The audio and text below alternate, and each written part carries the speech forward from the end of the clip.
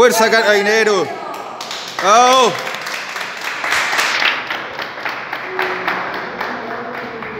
Y más que vale agradecer la noble labor de todos los días, la, abnegación con que siguen prestando servicio a, pesar de todos los problemas que han existido, siempre están ahí dando la cara. Y se lo agradezco.